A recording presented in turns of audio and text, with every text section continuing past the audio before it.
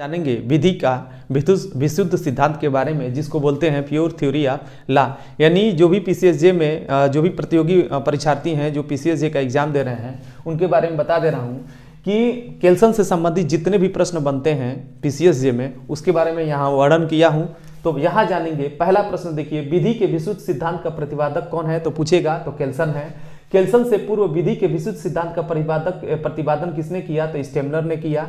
केल्सन के विधि के सिद्धांत किस पर आधारित है? तो कांट पर आधारित है। और मूल मालक के सिद्धांत का प्रतिपादन किसने किया? तो यहाँ केल्सन ने किया। अब विधि का विशुद्ध सिद्धांत को राजनीति, नीतिशास्त्र, समाजशास्त्र तथा इतिहास से पृथक किसने रखा? तो केल्सन ने रखा। राज्य और विधि को एक ही सिक्के के दो पहलू किसने माना? तो केल्सन ने मारा। भारत में विधि व्यवस्था का मूल मानक क्या है? तो संविधान है।